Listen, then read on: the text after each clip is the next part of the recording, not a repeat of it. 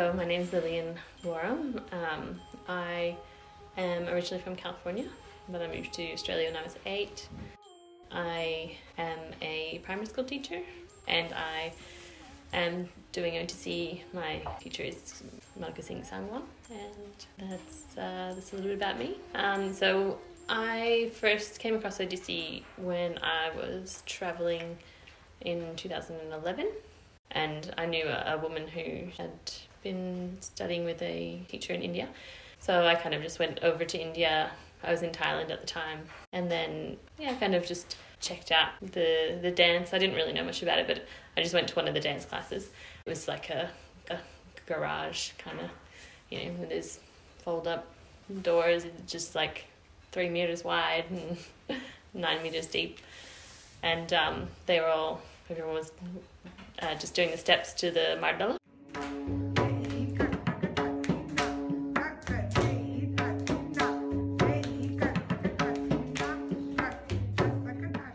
So my teacher at the time, his name was Guru uh, Saroch Dehuri. I just started learning, and that was in Himachal Pradesh. After I did that for a while in India, my visa ran out eventually, so I was like, oh, I need to find somewhere in Australia so I can study. Um, and then someone just mentioned to me like that there was this teacher, Monica Singh Sangwan in, in Melbourne, and I'd never lived in Melbourne before, but my husband, um, Simon, he lived in Melbourne, so we were like, oh well, we might as well just go to Melbourne and yeah, move to Melbourne to do to do dance really. Well, I've always done dancing um, previously, like when I was younger, I did ballet and um, jazz and tap and kind of all the Western, more Western, even classical dances, you could say.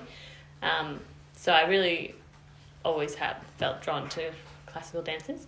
Um, the just coming across the class and like the structure of it, but also um, I do a lot of meditation and I've done a lot of yoga in the past. So this kind of merging of this classical style with the spiritual aspect of the dance really called to me. Odissi is very balanced, so it's got a lot of the masculine and the feminine energy. So this, these energies are really balanced in Odissi, and I think that that's really helped me keep my my center and like feel very stable um, in life. Odissi brings a lot um, of joy into my life, and um, even though it's very demanding physically, but um, still at the same time it it really speaks to my spirit, I guess, in okay. a way that other dances haven't before. Mm. Um, so I've been doing it for like 10 years now, I think. Yeah, about 10 years. Yeah, I think that along with it, it brings a lot of good things into my life, um, like any sort of art, true art form does, discipline and, you know, determination, devotion, these kinds of things. It has definitely impacted my life in a, in a, in a positive way. And just being with Monica, Monica Ji, it's um, she's really provided a lot of direction and in in the dance and also in life. Yeah, I think like with the Guru Shishya Parampara that she's setting up, it's like a lifelong relationship, really, and goes beyond. You know, you go to class and you have the teachings. Your lives are interwoven, sort of until you know the end. Really, I'm so grateful to have a wonderful teacher like Monica to be able to deliver the teachings in such a pure way. Like most of us come to Monica as adults already. So there's definitely a lot of respect there. She respects our lifestyles as well because it's very, you know, other lives that we have. They're very demanding and we go to work and all that kind of stuff. But there's mm. definitely a lot, lots of laughter and, and fun and joy in the class. Like I think the one thing that I really noticed about her style of teaching is that it is about responding to the student's needs rather than you just treat everyone the same. Yeah. Like you really need to say what the student needs to, to get to a certain point, yeah? Or this is what they need to achieve. And how are they going to get there? It's going to be different for everybody.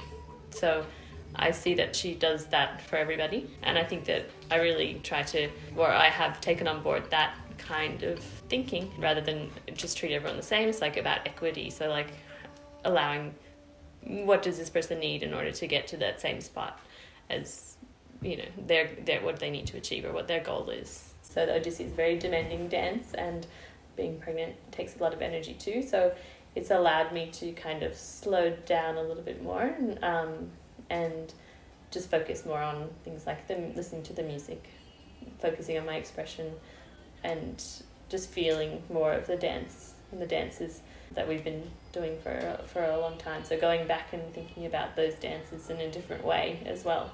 So reflecting on you know maybe some dances that I learned at the very beginning of my journey with Odissi, and then thinking about you know more about the music rather than the technical side of things. And so it's been good to have a little bit of a slow down and reflect.